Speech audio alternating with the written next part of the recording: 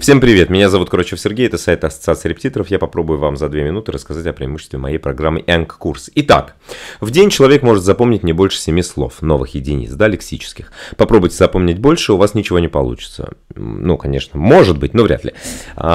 Вы можете в день запомнить 20-30 слов, но если говорить о длинной перспективе, месяц, год и больше, то мозг будет забывать слова. Итак, у нас есть волшебная цифра 7 слов в день, мы начинаем с этого. Дальше, как нам еще упростить задачу, ускорить изучение языка?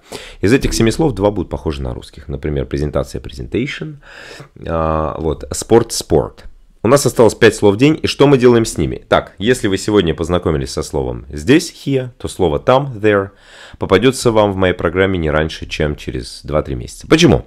Потому что мозг прекрасно склеивает слова, которые близки по смыслу, например, большой, огромный, гигантский. Противоположный по смыслу, дорогой, дешевый, тут, там. И слова, похожие по звучанию.